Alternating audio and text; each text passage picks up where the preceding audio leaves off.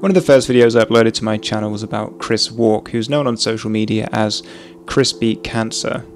I've actually uploaded about seven videos that are in some way related to Chris. For those of you who need catching up though, Chris had surgery for colon cancer in 2003, and he's since made a living promoting supposedly natural or alternative treatments for cancer, even though his own cancer was cured by conventional medicine. Naturally, Chris delves into all kinds of health related conspiracies, but he hasn't really said much about COVID 19 on Facebook or YouTube. And that's probably because these platforms have been surprisingly effective at removing misinformation related to the pandemic. But Chris has been talking about the pandemic to his Square One subscribers on Vimeo. So let's see what kind of information he's providing to his paying audience. Here we go. I'm not going to get the vaccine because I do not participate in drug trials. That's why. That's my personal number one reason. I don't do drug trials. I don't take experimental drugs. It doesn't matter how much coercion uh, is forced upon me. I'm not going to take an experimental drug. Uh, so, number two, I'm not at risk. Number three, uh, the coronavirus is uh, n- much less deadly than they want you to believe. It's not like Ebola, where, like, you know, 10% of the people who get it die or whatever. Uh, so if you just look at the CDC, you'll see the survival is 99.997%. Okay, so we'll take these points in order. First of all, the COVID 19 vaccines are not experimental in either the scientific sense or the regulatory sense, which are the two most important considerations. You won't be a participant in a drug trial if you take a vaccine as part of the national rollouts in the UK, the US, or around the world. You're not going to be followed or monitored as part of a scientific experiment, so on that point, Chris is simply wrong. Now, Chris might still feel that the vaccines are experimental in some way that's important to him, and he's perfectly entitled to his non expert opinion on what the word experimental means. But his reasoning here about drug trials is wrong, and honestly, it's a strangely selfish position to take. Chris clearly thinks that drugs should be tested, but only on other people. Chris's second point is that he's not at risk, and Chris probably is in a lower risk group, but he is a cancer survivor, and I'm pretty sure he's over 40, so he's certainly not in the lowest risk group, and no one is completely without risk. But this rather misses one of the reasons for giving the vaccine to low risk groups, which is reducing transmission to people who are in the high risk groups.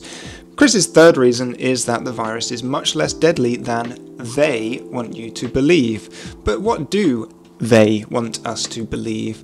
Well, I read mostly scientific literature and articles from the mainstream media, which I guess means I'm just guzzling down blue pills. And most articles I've read from the BBC or similar include statements like, don't forget the overwhelming majority of people do recover from COVID and it's often a mild disease. That's from an article titled COVID How Worried Should We Be? It seems that estimates of the infection fatality rate have settled around the half percent mark when considering all age groups, but obviously that calculation is very sensitive to demographics. But what about Chris Wark's 99.997% survival rate? Well, it doesn't come from the CDC. Chris is quoting a viral tweet from a blogger, and he's not even fully quoting the false information in that tweet. 99.997% was supposedly the survival rate for under 19s. If I had to guess, I suppose the conservative Latina probably did a few calculations of her own to come up with these numbers, but they're not from the CDC. As you can see though, she's actually quoted a rather alarming 5% infection fatality rate for the over 70s, which to my mind pretty conclusively answers her question on why people are pushing the vaccines. But let's be real, I wouldn't be making this video if that's all Chris had to say. So far it's all been pretty predictable, so let's move on to the real silliness.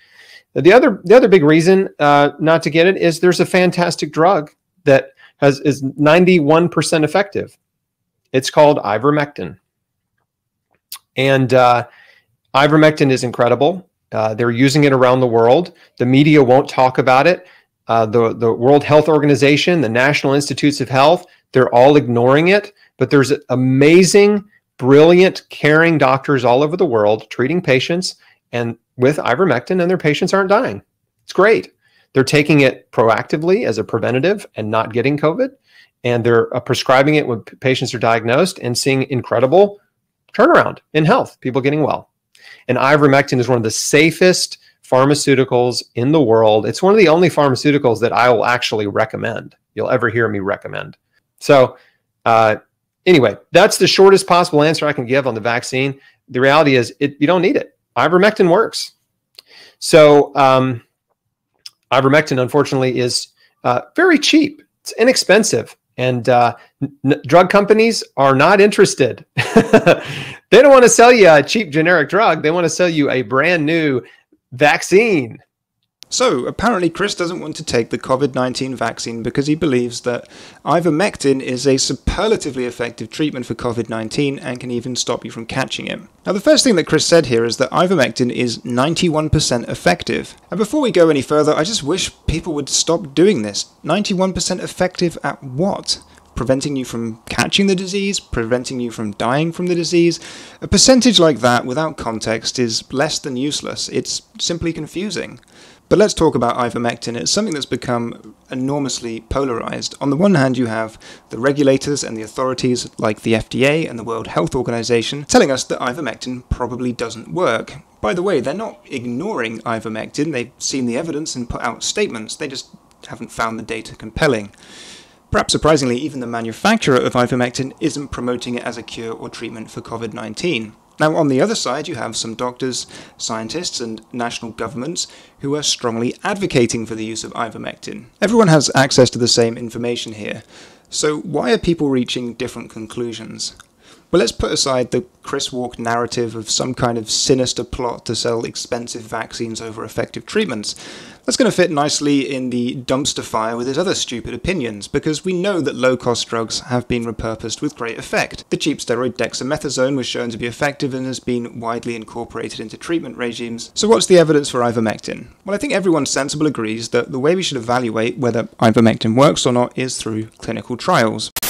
But there's amazing, brilliant, caring doctors all over the world treating patients and with ivermectin, and their patients aren't dying. It's great. They're taking it proactively as a preventative and not getting COVID, and they're uh, prescribing it when patients are diagnosed and seeing incredible turnaround in health, people getting well. No, Chris, that's an anecdote. It's not going to help us here.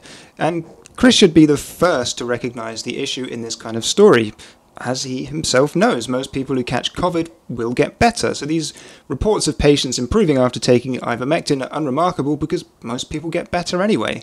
But let's get back to the data that matters. So there have been a number of trials that have reported positive results, and there have also been a number of trials that have reported negative results. So what can we do here when there's a mixture of results like this and the picture still isn't clear? Well, the next step is to collect all these trials together and try and synthesize the evidence. We can search for all the relevant data by conducting a systematic review of the literature, and we can combine the results of trials with a technique called meta analysis.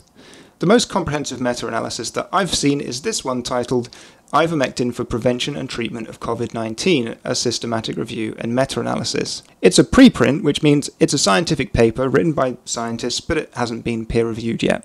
And the authors have done a great job of tracking down a ton of data here, but most of the included studies have also themselves never been peer reviewed. A lot of the data here has come from preprint servers, and sometimes the data has been obtained by just emailing authors.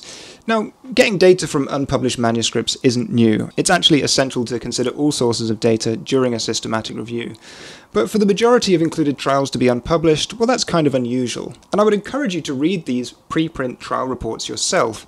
You don't have to be a scientist to see that the reporting of this data on ivermectin is not always at the highest standard. Sometimes the English is just quite bad. So here's what's happening, at least in my view.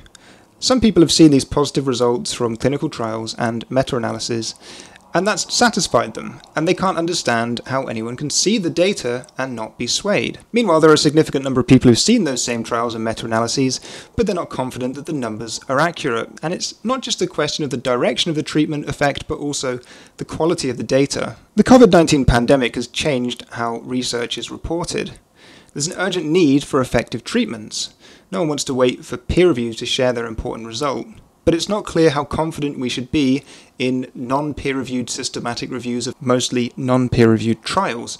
Surely even the ivermectin enthusiasts can understand this difficulty. The best way to resolve this would be with large, high quality, well designed trials that are pre registered. But before we get to those kind of trials, there has to be a compelling reason to actually run them. As you might have guessed by now, I'm a doubter. I've looked at a few of these positive trial reports and they look kind of dubious. If you want me to talk about why I think that, will have to be in another video. And here's where I'm going to get to the bottom line of this huge ivermectin tangent.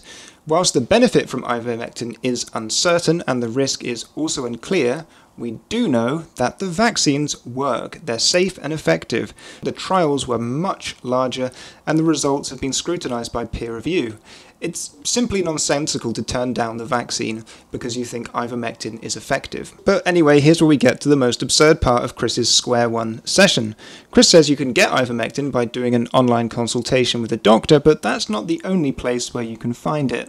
It's it's incredibly easy to get. Anyone can get it, and you can also get it at Tractor Supply because uh, they sell it there for horses. So um, there are some people, if you're it's an emergency and you need it fast, you can buy it at uh, feed stores and Tractor Supply places like that. It's horse parasite medicine. It's the same stuff. It comes in a liquid form, and on the COVID nineteen website, it, it tells you exactly how much dose to take for your body weight. You didn't hear that from me. Okay. Next question. Remember at the start of this video where Chris firmly insisted that no amount of coercion could force him to join a drug trial that isn't actually a drug trial, but here he is telling his subscribers to go out and buy veterinary medicines.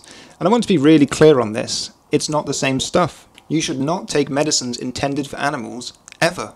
And Chris knows he's saying something that he shouldn't say here. Animal medicines have different formulations, they aren't regulated in the same way, and they don't have the same kind of quality control in place for human medicines. And they may contain ingredients that have never been tested for safety in humans. What really concerns me here is that Chris Wark subscribers are often vulnerable.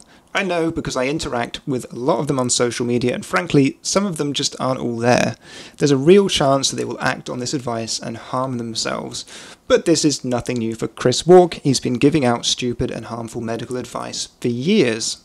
Well, that's it for this video. I went off on an absolute tangent on ivermectin, but I'm sure some of you are still going to be raving about it in the comments. Some people have asked where I've been and what I've been up to. Well, I've been at work, I do have a full time job, and it keeps me busy. I've been writing a paper, and I've been writing a lot of comments on PubPeer. I might talk about those things in a future video.